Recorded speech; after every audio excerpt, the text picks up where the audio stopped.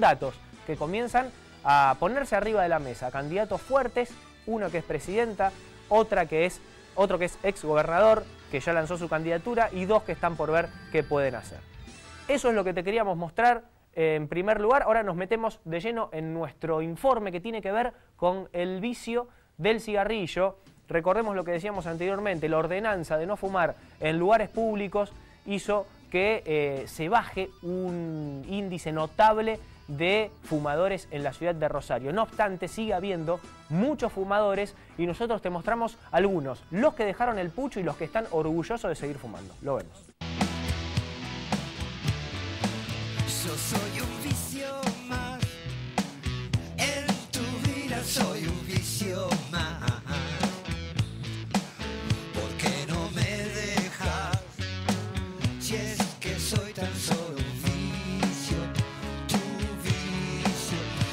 Si nos ponemos a pensar en la economía de nuestro país, en las cosas que aumentaron, tenemos que pensar que los vicios también fueron uno de los puntos que fueron aumentando en nuestro país.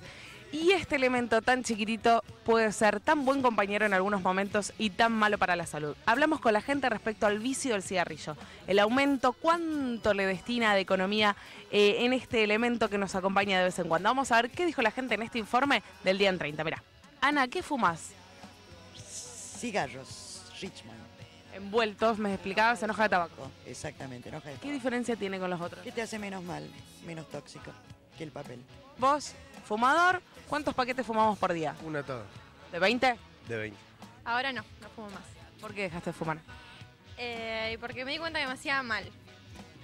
Fumadora, exfumadora, fumadora social. Eso, fumadora social, digamos. O sea que solo cuando tenemos un evento damos algún que otro. A mí lo que me pasó, por ejemplo, tengo todas mis compañeras de la facultad eh, fumadoras y yo no era fumadora. Entonces cada vez que teníamos que rendir o algo, salíamos todas y quedaba yo, viste, ahí. Y bueno, y una cosa llevó a la otra, de los nervios por ahí para rendir y eso, y bueno, y eh, agarré, el, agarré el pucho. ¿A cuánto gasta en el vicio, lo que tenemos en la mano, en el cigarrillo? Eh, 10 pesos por día. ¿Cuántos cigarrillos fumas por día? Cuatro paquetes. ¿Cuatro paquetes de 20? Cuatro paquetes de 20. ¿De hace cuánto tiempo ya? Y muchos años, 40 años fácil. Y desde los 27 años, hace 30 años. ¿Promedio de cigarrillos? Promedio. Y llegué a 30, ahora estoy con una medicación que estoy con los 8 o 10 por día. No, los fines de semana, ahora casi nada. Uno o dos eh, cada vez que salgo. Muy poco, muy poco. Promedio de la semana, entonces compramos siete. Más o menos, sí. ¿Hiciste algún...? Más. Ah, por las noches son fumador social, aumenta. Mucho más, sí. ¿Como cuánto? Y un atado más. Eh, uno de 20 me dura un día y medio. ¿Y por qué lo elegís al vicio? ¿Te gusta? Ustedes esa es la respuesta que toda la gente tiene cuando tiene un vicio. Me gusta. No tengo problema. Lo dejé cuatro veces. Pero es como el primer amor. Uno siempre vuelve al primer amor. Es necesaria la compañía. Sí, sí, sí, vuelve, vuelve, lo atrae, lo extraña. Igual a mí me gusta fumar, o sea, no es que... O sea, hay veces que después de comer o cosas así necesitas fumar, o yo necesito fumar y me gusta tener para fumar. Por ahí hay momentos que trato de fumar menos, pero hay momentos del día que fumo porque fumo, porque quiero fumar. Es horrible. Eh, yo tengo compañeros de trabajo que no fuman y les agarra esa desesperación de no poder estar sin fumar en el trabajo y, y de, de- no, no, pelearse con todo el mundo por un cigarrillo, no, es horrible. Lo veo horrible y también, bueno, esos fueron unos factores por los que dejé de fumar. No quería llegar a eso, tampoco no. ¿Qué te provoca fumar? Nada, o sea, me provoca no fumar, digamos. Si no tengo, tengo, o sea, tengo la necesidad de fumar. Si tengo, estoy normal, digamos.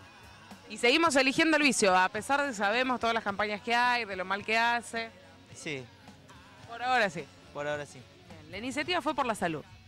Sí, más que nada, sí, sí, por la salud. Sí, ya lo último me sentía mal, no me gustaba. Yo sobrevivo. Disfrutando de un cigarrillo de vez en cuando. no es el culpable de, del estado que tengo en mis pulmones. Hasta que la salud no me, no me diga que lo tengo que dejar, no lo voy a dejar. ¿Tenemos que llegar al límite? Sí, me parece que sí. ¿Hicimos un chequeo? ¿Sabemos cómo están los pulmones? Sí, sí. Pero no, está bien todavía, ni una mancha ni nada. Parecemos la mujer de que le son infiel y volvés y no querés volver y volvés y volvés. Esta es la infidelidad de la vida. ¿Cuál es el cigarrillo que más disfrutas? Todos. Cada Todos. uno. Todos. Me gusta fumar. Me encanta. Por ahí, eso es lo que cuesta, dejarlo. Eh, de a poco no, no se puede dejar, se tiene que dejar así de un día para el otro. ¿Y qué opinas de la gente que te viene diciendo, no, pero te hace mal? ¿Vos cómo te sentís? Yo me siento bien, no la escucho. Cada uno forja su propio destino. El mío es ese. Tengo los pulmones engrosados. Tres centímetros por plomo. No es por el cigarrillo. Si yo quiero dejarlo, lo dejo. Pero me tira y me atrae. Durísimo. Fumar social, poco, podemos dejarlo Un entonces. poquito, sí, sí, lo vamos a dejar. Acá, compromiso ante la cámara, vamos a dejar el pucho.